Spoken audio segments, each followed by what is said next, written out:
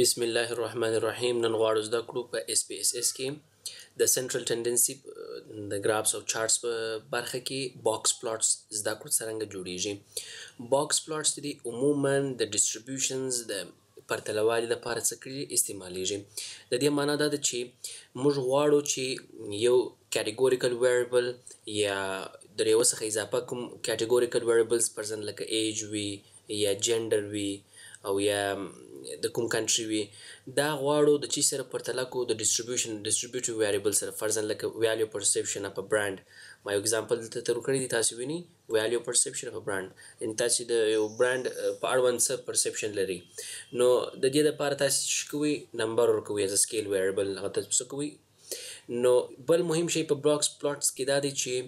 حتمی به ایکس اکسس یا هوریزنټل اکسس چې دی هغه به په کټګوریکل ویریبل باندې راځي او وای اکسس چې دی هغه ډیپینډنټ ویریبل دی هغه به خامخا پر سکیل ویریبل باندې راځي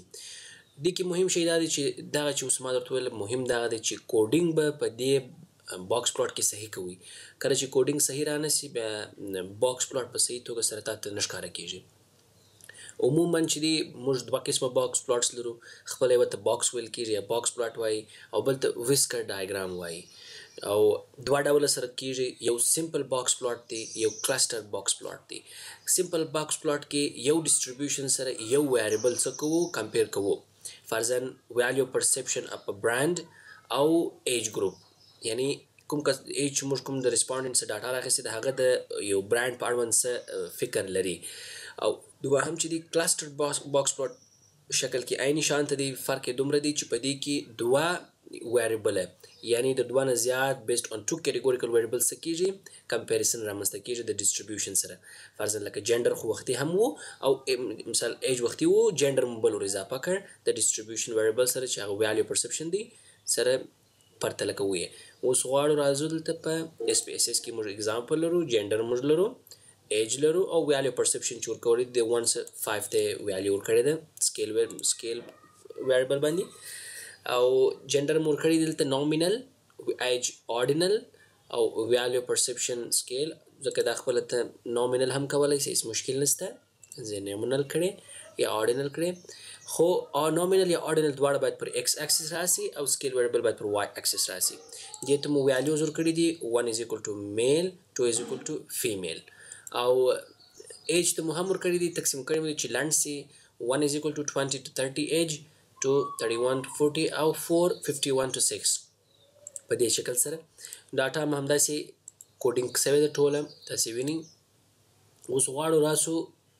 باکس پلاټ جوړ کړو د دوه لارو څخه کیږي یو چارټ بلډر د لارې او یو لیګیسي ډایلوګز کې تا تر کړی دی باکس پلاټ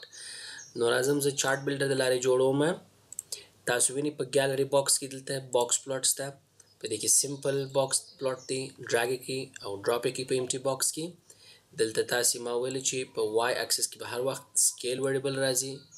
کښې مې شود او زه غواړم چې د ایج سره څه کومه کمپیر کم یعنی د ایج د ګروپ سره زه غواړم ویلیو پرسپشن اف د برانډ چې دی غواړم کمپیر کړم او د هغوی ګراف سرچ کوم چارت یې جوړ کړم تاسو ټایټل ورکولای شئ دلته فرضاً زه غواړم ټایټل ورکړم ویلیو پرسپشن اینډ ایج ګروپ نور سبټایټل فوټ نوټ هر څه ورکولای شي دا کینسلوي تاسو اوکې وهي نو تاسو ته داسې یو ګراف جوړیږي په دې ګراف کې د پوهېدل لپاره تاسو باید د ګراف اصلي په شکل پوسی په چارت کې دننه تاسو داسې یو شکل ویني په دې انځور کې دغه لوړه برخه چې ده دغه او د لاندې برخه دې ته ویسکرز وایي لوړه برخه چې ته ته ماکسیموم ویالیو درشي چې د ویالیو پرسپشن او د ایج ترمنځ چې ده زده او لاندې د هغه مینیموم د موست مینیموم ویالیو چې ده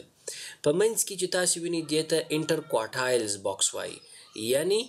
دا چې موږ تاسو وختي په پرسنټایل کې ولې و چې دا لوړ لوړ اپر ایج لیول چې دی دا دې ته 75 پرسنټایل وایي یا اپر کوارټایل وایي چې موږ ولې 15 پرسنټ تر دې بلو څو دي او میډل چې تور لاین د بلاک سټروک لاین دی